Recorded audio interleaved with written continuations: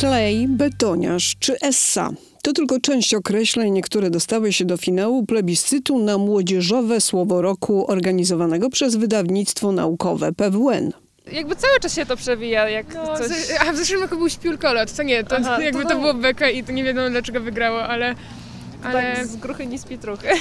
no zależy kto będzie głosował znowu, no bo jak komuś się spodoba znowu i będą chcieli cisnąć bekę, no to wiadomo, że to nie będzie w ogóle miarodajne, ale jeżeli będzie w końcu młodzieżowe, to będzie Essa. Często to używam, na przykład otrzymałem piątkę, to jest Tessa, otrzymałem szmatę, to jest Tessa. Podejrzewam, że wygra robi wrażenie, bo to jest takie mega popularne wśród takich młodszych ludzi, dzieci. W tym roku internauci przesłali ponad 8 tysięcy propozycji różnych słów i wyrażeń. To już siódmy raz, kiedy PWN organizuje ten plebiscyt. tworzy w jakiś sposób, identyfikuje młodzież.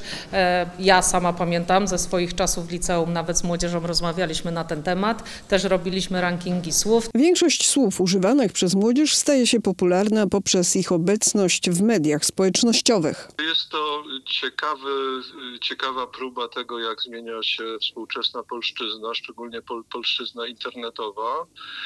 E, Organizatorzy starają się tutaj jakby wypośrodkować. E, Nie wszystkie chwyty są tutaj, jak wiemy, dozwolone, to znaczy e, słowa obraźliwe czy nawołujące do nienawiści, hejtu i tak dalej są, są wy- wykluczone z tego plebiscytu.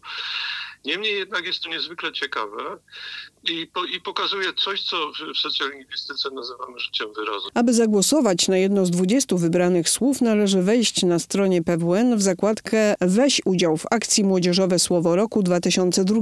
Głosowanie potrwa do 30 listopada, a wyniki plebiscytu zostaną podane na początku grudnia.